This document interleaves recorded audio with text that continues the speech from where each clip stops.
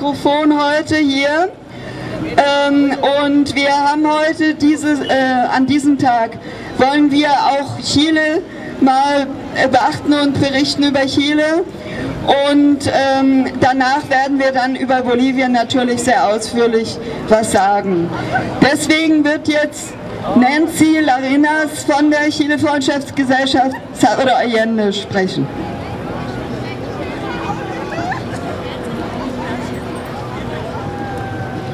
Querido pueblo de América Latina y el Caribe, berlinesas y berlineses, Chile vive un gran hecho histórico desde el 17 de octubre.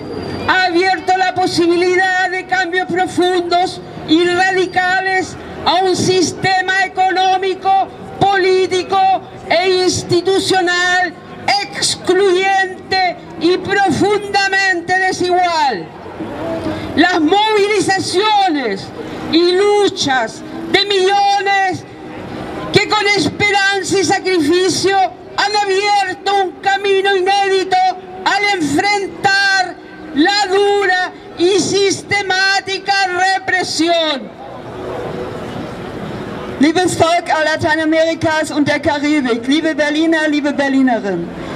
Chile hat seit dem 17. Oktober ein großes historisches Ereignis erlebt, das die Möglichkeit tiefgreifender und radikaler Veränderungen in einem ausschließenden und zutiefst ungleichen wirtschaftlichen, politischen und institutionellen System eröffnet hat. Die Mobilisierung und Kämpfe von Millionen, die mit Hoffnung und Opfer einen beispiellosen Weg eröffnet haben, indem sie sich der harten und systematischen Repression stellen.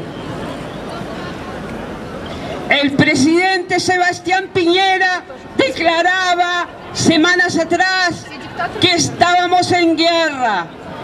Esto aceleró la brutalidad del actuar de los militares y policías en contra del movimiento popular, violando los derechos humanos dejando víctimas fatales, centenares de personas con daños totales y parciales a sus ojos, centenares que han vivido torturas físicas y psicológicas, golpizas, violaciones y prisión.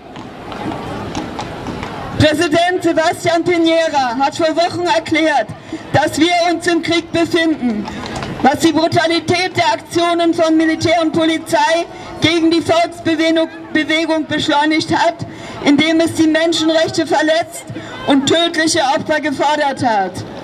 Hunderte von Menschen haben ihre Augen völlig oder teilweise geschädigt. Hunderte, die physische und psychische Folter, Schläge, Vergewaltigungen und Inhaftierungen erlebt haben. Este patrón de actuación en contra de la vida y dignidad de las personas continúa siendo la doctrina de la seguridad nacional, ideada por los sucesivos gobiernos de los Estados Unidos y puestas en práctica mediante el entrenamiento de los distintos ejércitos Latinoamérica en la Escuela de las Américas en Panamá. Doctrina que vemos también en acción en estos momentos en Bolivia y Colombia. Diese Vorgehensweise gegen das Leben und die Würde der Menschen ist nach wie vor die Doktrin der nationalen Sicherheit die von Regierungen der Vereinigten Staaten entwickelt und durch die Ausbildung der verschiedenen lateinamerikanischen Armeen an der School of Americas in Panama in die Praxis umgesetzt wurde. Eine Doktrin, die wir auch in Bolivien und Kolumbien in Aktion sehen. Las, las violaciones cometidas por los militares y policía han sido constatadas por los organismos internacionales, quienes denuncian al gobierno de Piñera por los casos aberrantes y constantes en personas. El presidente Piñera, su ex ministro del Interior Chadwick y el ministro Blum enfrentan querellas y denuncias criminales en los tribunales de justicia por sus responsabilidades en contra de la violación de los derechos humanos. Die von Militär und Polizei begangenen Verletzungen wurden von internationalen Organisationen bestätigt, die die Regierung Piñera wegen der abscheulichen und ständigen Fälle gegen die Würde der Menschen anprangern.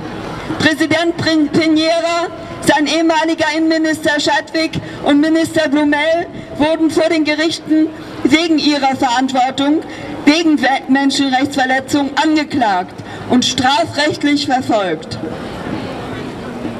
La respuesta del gobierno de Piñera y la cúpula del poder ha sido la represión, pero hemos visto que se ha sentido acorralado ante la presión popular y para mantener el modelo económico, político y social ha llamado a un pacto social denominado Acuerdo por la Paz Social y la nueva Constitución del 15 de noviembre del 2019. Lo que se propone es una constitución determinada en el Congreso que no incluye la Asamblea Constituyente y una nueva constitución como lo exige el pueblo chileno. Este es un acuerdo negociado a espaldas del movimiento social la que regulará previamente las condiciones bajo las cuales se llevará a cabo dicho proceso de pacto social. Este acuerdo no ha sido apoyado por los parlamentarios del Partido Comunista y parte del grupo de Frente Amplio. Die Reaktion der Regierung von Piñera und die Zentren der Macht war Repression. Aber wir haben gesehen, dass er sich angesichts des Drucks der Bevölkerung in die Enge getrieben fühlte und zur Aufrechterhaltung des wirtschaftlichen, politischen und sozialen Modells einen Sozialpakt namens Abkommen für sozialen Frieden und die neue Verfassung vom 15. November 2019 gefordert hat. Vorgeschlagen wird eine im Kongress festgelegte Verfassung, die die verfassungsgebende Versammlung und eine neue Verfassung, wie sie vom chilenischen Volk gefordert wird, nicht enthält.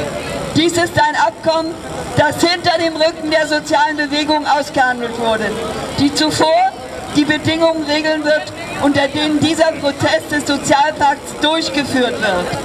Diese Vereinbarung wurde von den Parlamentariern der Kommunistischen Partei Chiles und der Teil der Frente Amplio Gruppe nicht unterstützt.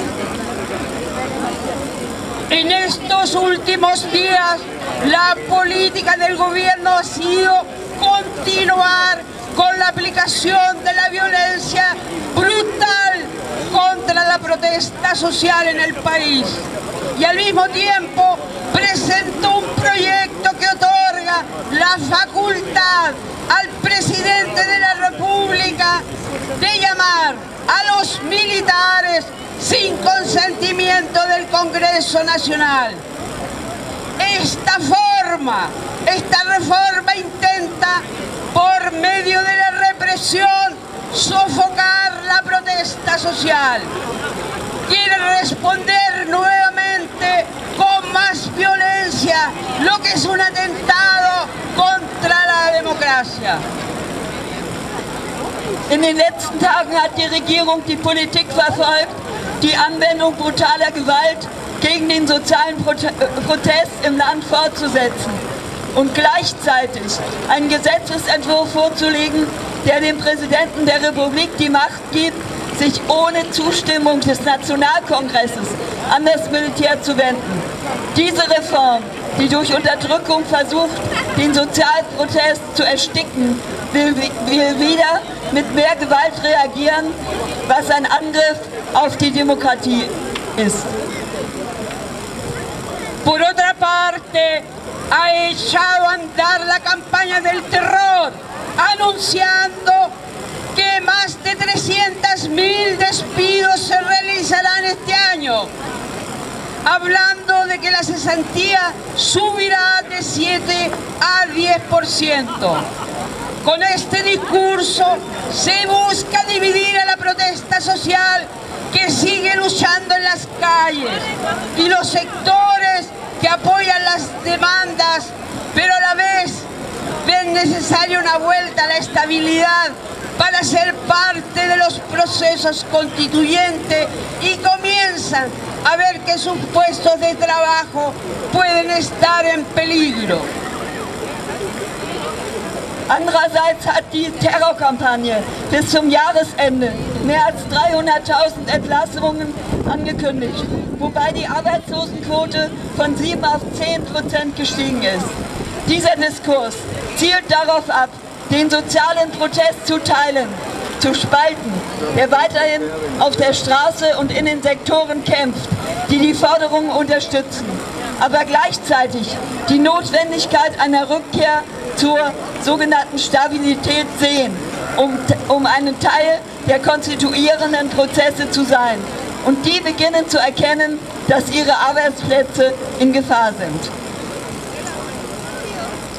Mientras los empresarios comienzan a movilizar sus fuerzas de choque junto al gremio patronal de los transportistas, quienes hicieron un llamado a deponer las movilizaciones y amenazaron con una paralización.